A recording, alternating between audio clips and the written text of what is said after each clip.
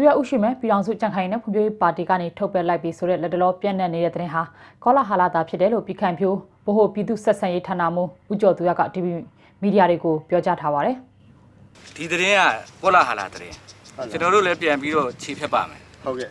နော်တရားဝင် website ဖြစ်တဲ့ USDB website ရယ်နောက် Facebook page တွေဖြစ်တဲ့ကျွန်တော်တို့ဒီပြည်ခိုင်ဖြိုး page တို့နောက်တစ်ခါပြည်တော်ကြံခိုင်ဖွံ့ဖြိုးရေးပါတီ page တို့မှာပြန်ပြီးတော့တုတ်ရေးပေးပါဒါကကောလာဟာလာဖြစ်တဲ့အကြောင်း ဒီချိန်မှာတော့ကျွန်တော်တို့ဒါရွေးကောက်ပွဲနီးလာတဲ့ခါကျတော့ဒါတွေကတော့ကောလာဟာလာတွေကတော့ရှိလာမှာပဲလေနော်ကျွန်တော်တို့နိုင်ငံရေးအနေထားကြတော့ဟုတ်အဲကောလာဟာလာဖြစ်တဲ့အကြောင်းကျွန်တော်လာပြောတာသူရဥရှိမဲ့ဟာအခုချိန်ထိပါတီဝင်ဖြစ်ရှိနေစေဖြစ်ပြီးအဲ့ဒီတဲ့မှန်မှန်ကန်ကြောင်းကိုပါတီကမနေ့ညနေကတရားဝင်ထုတ်ပြန်ကြေညာဖို့ရှိတယ်လို့လည်းဦးကျော်သူရကပြောပါတယ်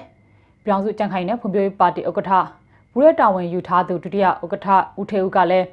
သူရဥရှိမဲ့ဟာ လွန်ခဲ့တဲ့နှစ်ရက်လောက်အထိပါတီဝင်ဖြစ်ရှိနေစေပဲလို့ပြောပါတယ်ဟိုအတီးပြုတ်ပေးနေတယ်မဟုတ်လွန်ခဲ့တဲ့နေ့ရက်လောက်မှာတော့သူပါတီဝင်ပဲ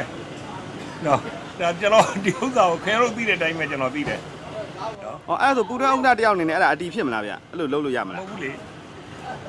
ရပူရဲဥပဒေတယောက်အနေနဲ့လုပ်လို့ရတာမဟုတ်ဘူးဒါဘိုလ်လုံးကောင်ကွဲတို့နော်သူ့ရဲ့ကော်မတီတွေအများကြီးရှိပါတယ်ဒီဥစ္စာတွေအကုန်လုံးနဲ့ဆုံးမြတ်ပါပါနော်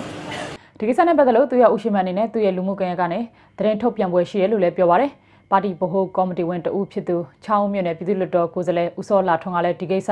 ပါတီကတရားဝင်ထုတ်ပြန်တာမရှိဘူးလို့ဆိုပါတယ်။သူရဥရှိမန်ဟာလက်ရှိမှာတော့သူရဲ့စာတိမြေဖြူမျိုးကနေရွေးကောက်ပွဲမှာဝင်ရောက်ရှင်ပြိုင်မှုမဲဆွယ်စည်းရုံးရေးတွေလှုပ်ဆောင်နေပါတယ်။ပြီးခဲ့တဲ့ဩဂတ်စ်လ12ရက်နေ့ကသူရဥရှိမန်ကိုကြံ့ခိုင်ရေးပါတီပူးတဲ့ဥက္ကဋ္ဌတာဝန်ကနေဖယ်ရှားလိုက်ပြီးဒုတိယဥက္ကဋ္ဌဦးထေဦးကိုအစားထိုးခန့်အပ်လိုက်တာဖြစ်ပါတယ်။ပြောင်းစုကြံ့ခိုင်နဲ့ဖွံ့ဖြိုးရေးပါတီပူးတဲ့ဥက္ကဋ္ဌဟောင်းသူရဥရှိမန်ကတော့